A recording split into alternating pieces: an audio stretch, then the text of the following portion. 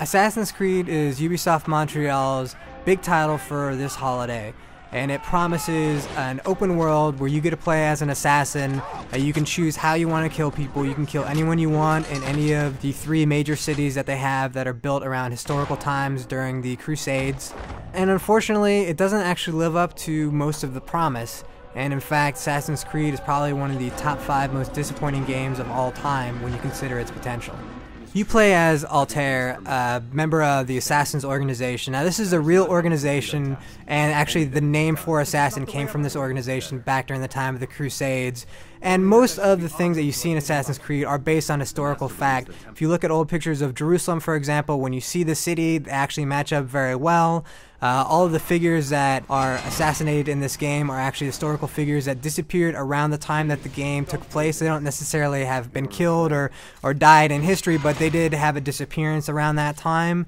So uh, they, you know, it links up very well, and it definitely has a very rich history to it, and you know, fairly accurate in terms of the historical perspective. And that was something that the team uh, really wanted to focus on. But when you get past all the historical accuracy stuff, you really have to get a game that's good. And that's one of the failures of Assassin's Creed. Now, you can actually climb up any surface that you want, you can run around these big giant cities, and that's a lot of fun. Uh, you're actually climbing on the architecture, so when you're trying to climb up a building, you're going to see like a little jewel or something like that, uh, an ornament that's sticking out of a wall, that's something that you can grab onto and keep pulling yourself up. So you actually have to act almost like a mountain climber or rock climber trying to get up to some of the higher points. And then when you get up to these points, which it is a lot of fun to climb, you'll get this view of the entire city, and it's really breathtaking.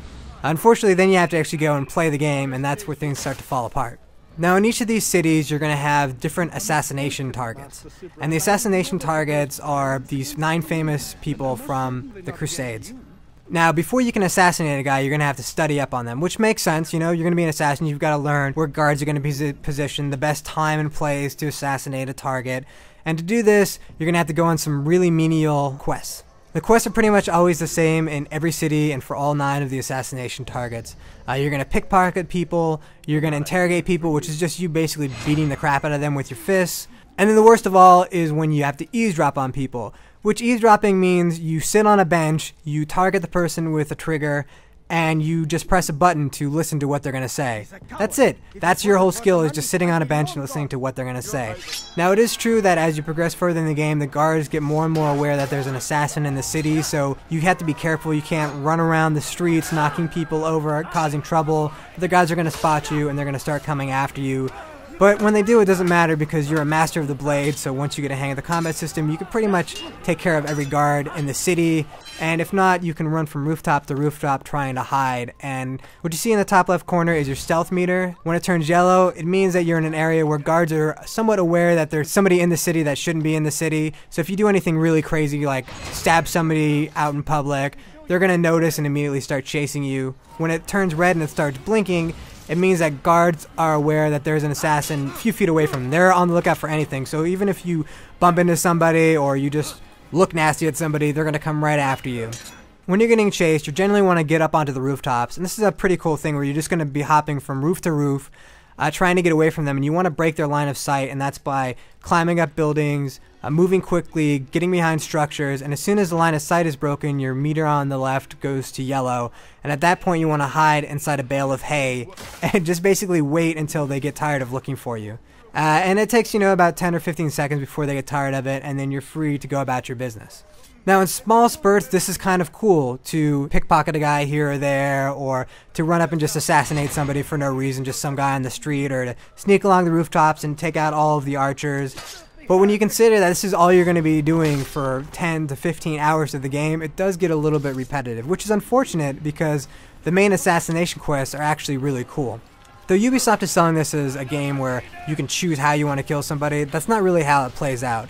You're going to have one specific time in one specific area where you're going to be able to, to assassinate your main target. And generally you have two options, either to run straight in there and fight everybody, or to sneak around the side and try to get a stealth assassination and then uh, run away back to the bureau where you're kind of have your own safety net and that's where you get your missions and that's also where you complete your missions. The controls for Assassin's Creed are really inventive.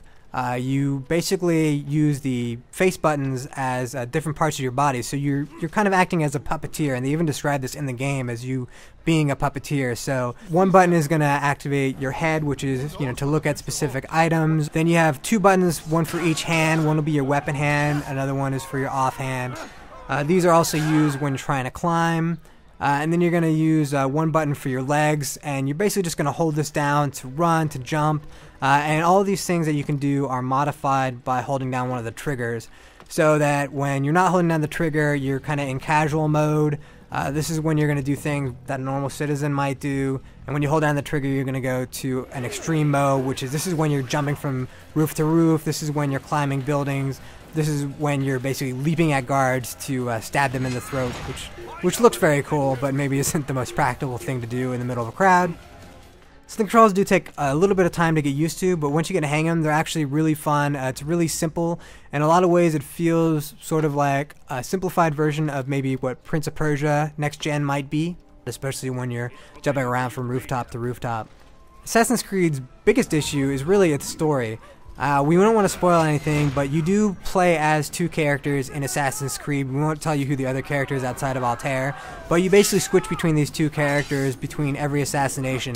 And the second character you play as, the whole storyline involved in that is awful. It has no purpose whatsoever of being involved in the story. In fact, the big twist of the game is revealed in the first five minutes, so imagine if you were watching The Sixth Sense and five minutes into the movie, they told you that Bruce Willis was dead, kind of make the rest of the movie stupid. And that's what happens in Assassin's Creed. And every time that you're in this other personality, it's just a pain. And unfortunately, while the big cities are really cool and climbing around is a lot of fun, uh, all that potential is wasted on going back to very old game conventions of completing simple, almost mindless quests.